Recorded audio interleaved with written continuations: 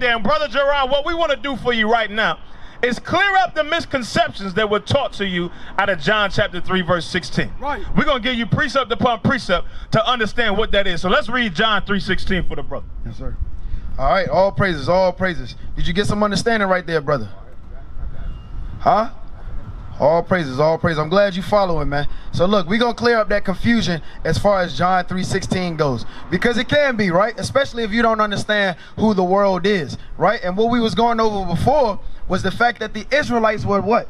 What happened to the Israelites in history? They were scattered. Scattered, right? All right? Read. The book of John, chapter 3, verse 16. Uh-huh. For God so loved the world, So love the what? the world. Right. So this is a common uh, uh, uh, quote that you'll see or you'll hear Christians quoting, right? For God so loved the world that what? that he gave his only begotten son, Uh-huh. that whosoever believeth in him should not perish, Uh-huh. but have everlasting life. Right. So this is a true scripture, but what is it talking about? Let's get what the word is. Give me that in Isaiah chapter 45, verse 17. Isaiah chapter 45, verse 17. So, what we're going to do is we're going to use the Bible to further explain the Bible. All right? We're not going to gather up our own thoughts, put things together, give you some tambourines and some music, uh, hop around and dance and foam at the. We're not going to do none of that. We're going to straightly use this book to explain what it's telling you. All right? So, the Bible says world, right? For God so loved the world. What world is it talking about? Read. Isaiah chapter 45, verse 17. Uh-huh. But Israel shall be saved in the Lord. Right. So it says, but Israel, right? Jacob's name was changed to what? Like you said? Israel, right? For God so loved Israel, but what?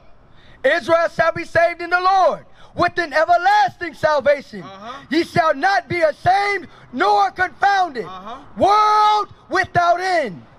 World without end, my brother. World without end. So it says that God so loved the world, right? And what did we just define world as? That was a world without end. Israel, all praises, all praises to the Most High. Now let's uh, jump to 46, uh, uh, 4 and 6. Deuteronomy 4 and 6 before we go back to John. All right? Israel shall be saved with an everlasting salvation, and you should not be ashamed of that. Right? Because Israel is God's elect. That's why you should not be ashamed. It's not our fault the Lord chose the best pickers on the earth. The Lord made us the best. Right? We are the chosen seed of Israel. All right, read. Deuteronomy chapter 4, verse 27. Uh-huh. And the Lord shall scatter you among the nations, and ye shall be left few in number among the heathen, whither the Lord shall lead you. Right. So did you get what that said, bro? It says the Lord will scatter us amongst all the nations.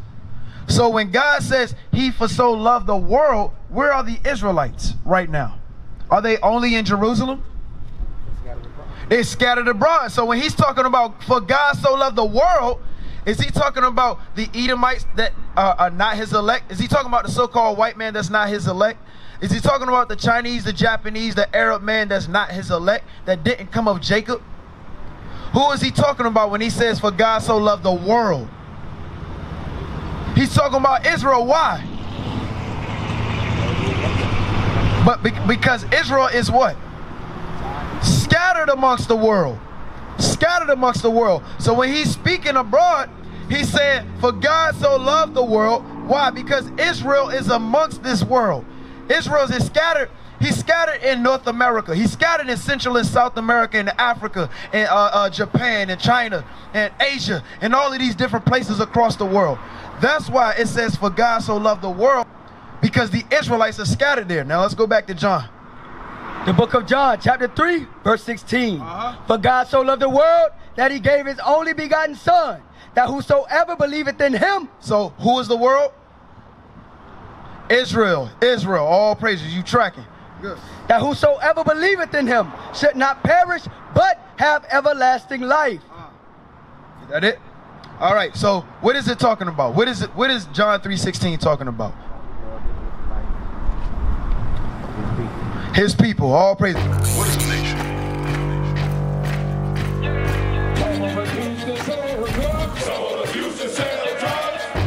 Nation is men leading by example.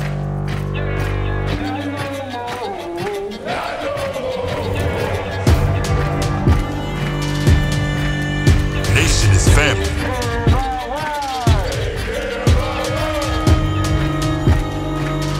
Nation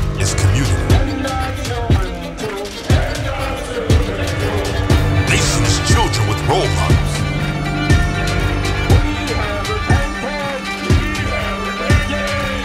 is unity.